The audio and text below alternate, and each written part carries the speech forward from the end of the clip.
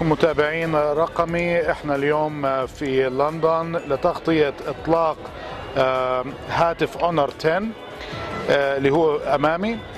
آه، زي ما أنتم شايفين التغيير كبير من ال Honor 9 اللي نزل السنة الماضية. طبعا في ال notch وهو واضح يعني معظم الشركات الآن صار يجي تليفون بال notch. النوتش طبعا أصغر من الموجود في الآيفون إكس. لكن طب بالطبع الفرق الأساسي إنه في بصمة أسفل الشاشة.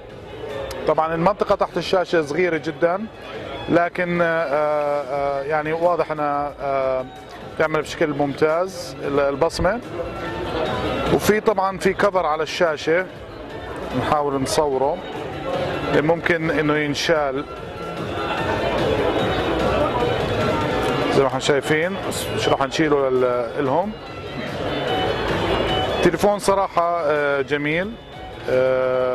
خلينا نوطي بس الإضاءة شوي. طبعا اللي بيفتخروا فيه أنا أكثر شيء هو اللون وتغير اللون. اللي هو هذا اللي معنا الفانتوم بلو وفي الفانتوم جرين تغير لونه من الأزرق إلى البنفسجي مع لمسة أخضر قليلا. وفي اللون الأسود التقليدي. برضو بالمع بشكل لامع. زي ما أنتم شايفين. لكن بتصور الأخضر والأزرق فانتوم الألوان الأجمل. والمختلفة. طبعا المشكلة الأساسية البصمات واضحة بشكل كبير. أنر بتحكي إنه حيكون في غطاء في في في الصندوق بحيث إنه ما تبرجيش البصمات. طبعا التليفون من ناحية الحجم ممتاز لليد واحدة وسهل الاستخدام جدا باليد الواحدة. الشاشة بحجم 5.84 الهواوي P20 5.8 ففي يعني فرق جدا صغير فاصل صفر أربعة. بس عمليا نفس حجم أو قطر الشاشة وتقريبا هي Full HD Plus من ناحية ال resolution اي بي اس ال سي دي شاشة جيدة جدا. ال notch طبعا حكوا إنه ممكن يتم إخفائها والكبسات اللي تحت ممكن يتم إخفائها بحيث إنك تستخدم بس الزر البصمة. طبعا في vibration أو ارتجاج عند لمسه.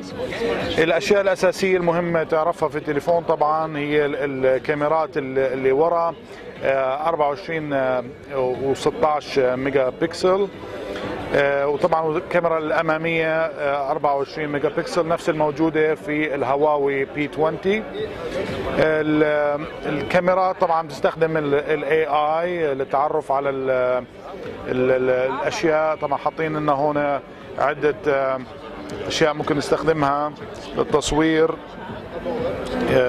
ممكن نجربها بعدين. بحيث إنه تورجي طريقة التعرف على الأجسام. بستخدم طبعا ال Kirin 970 الموجود بالهواوي P 20 البطارية 3400 ملي أمبير وبتدعم الشحن السريع. الهاتف طبعا أكثر شيء مهم فيه هو سعره. نسخة الشرق الأوسط 128 جيجا بايت سعة التخزين و4 جيجا بايت ال RAM. بتيجي في سعر 1699 ريال سعودي تقريبا 460 دولار.